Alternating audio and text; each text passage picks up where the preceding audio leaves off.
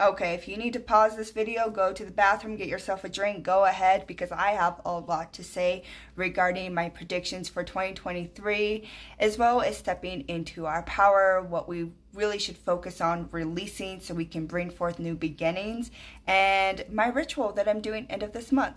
So, yeah, here we go. this should be fun. So, I have tapped into like the shadow collective, right?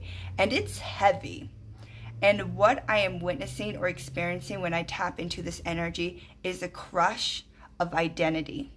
A lot of people right now feel lost and they are trying to control the narrative in their own lives. That's why they're taking solace in politics, into extreme behaviors, ideology, because they don't know who they are. They are being essentially programmed by themselves to be this mask and they believe in this mask and in 2023 much of these masks are going to be torn and ripped apart. So a lot of beliefs in these ideologies people are holding on to are going to be stripped away. This doesn't mean this can cause like some mass awakening or anything. I actually think it's going to cause chaos and extreme behavior because when people's identity is torn they react and they can be aggressive. I do see um, things that are going to maybe even result into violence in this next year, but for those who are ready to heal, who have done the work, because there's also this energy where I could also tap in and I'm like, people have been faced with their trauma. They have been faced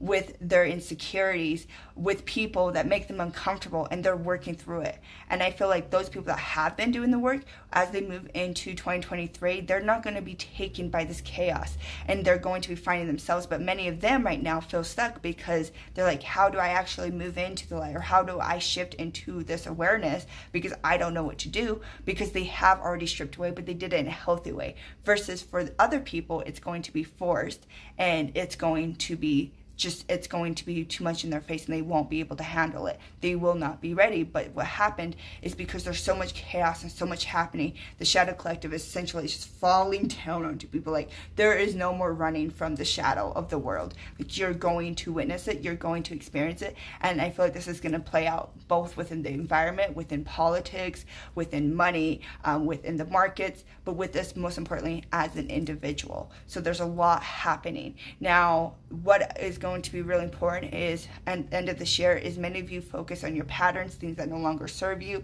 You know, in time of releasing, it's time to let go. And that's where my ritual is going to be about, which is going to be powerful for those who want to sign up.